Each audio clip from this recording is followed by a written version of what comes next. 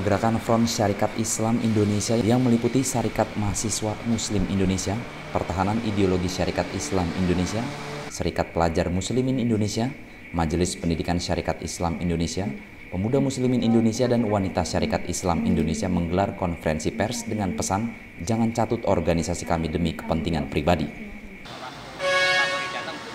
Acara yang bertempat di kantor DPP Syarikat Islam Indonesia Jalan Profesor Dr. Latumenten Raya, Jakarta Barat ini dimulai sejak pukul 4 sore dengan tujuan untuk menyatakan dukungan organisasinya terhadap kinerja Polri, sekaligus memberikan klarifikasi perihal aksi demo yang mendesak mundurnya Kapolri Jenderal Polisi Tito Karnavian beberapa waktu lalu yang dilakukan oleh sekelompok orang dengan mengatasnamakan Serikat Mahasiswa Muslim Indonesia dan Pertahanan Ideologi Syarikat Islam Indonesia. M. Azizi Rois selaku juru bicara pergerakan Front Syarikat Islam Indonesia menegaskan bahwa hubungan antara organisasinya dengan pihak kepolisian selama ini khususnya dengan Kapolri sangat baik.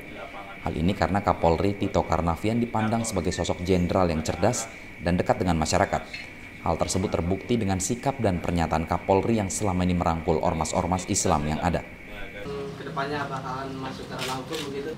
Yang melatar belakangi kami harus saya uh, harus kami sampaikan bahwa Serikat Mahasiswa Muslim Indonesia salah satu orang sayap yang uh, bergerak di kalangan intelektual muda mahasiswa yang saat ini semi bersama-sama OKP-OKP yang lain kita uh, bekerja sama kemudian kita bersinergi uh, dengan kelompok Cipayung Plus. Ada 15 OKP di situ. Ada HMI, GMNI, PMKRI, kemudian eh, PMII, IMM, Hima Persis, uh, Hima, kemudian Gemamatul Anwar dan lain sebagainya.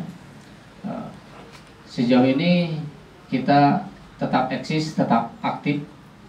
Kami lahir dari sejak 2 April tahun 1996 sudah mengalami enam kali kongres dan sampai hari ini kita masih tetap eksis, kita masih tetap uh, berkomitmen sebagaimana awal didirikannya Serikat Mahasiswa Muslim Indonesia yakni adalah sebagai kader-kader generasi muda yang untuk dipersiapkan menjadi generasi penerus bangsa khususnya di pemimpin masa yang akan datang.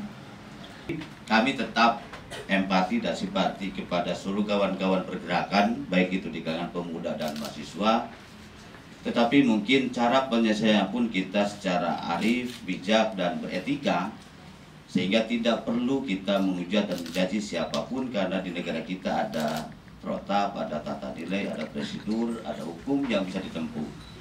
Artinya bahwa bukan berarti kami tidak berempati, kami berempati kepada seluruh kawan-kawan pergerakan yang menerima kekerasan dari pihak mana pun, tetapi kami ingin menyelesaikan ini semua secara beretika, secara arif, bijak, tempuh jalur hukum tetapi bukan berarti kami mesti menilai, menghujat, dan mencaci siapa pun tanpa ada alasan yang kuat. Selain itu, pergerakan Front Syarikat Islam Indonesia juga menyatakan dukungannya terhadap kinerja Kapolri beserta jajaran Polri untuk terus berusaha menjadikan kepolisian negara Republik Indonesia yang maju, profesional, mengayomi dan dicintai rakyatnya, serta dapat segera mentuntaskan berbagai masalah yang dihadapi sesuai dengan tugas dan fungsi Polri.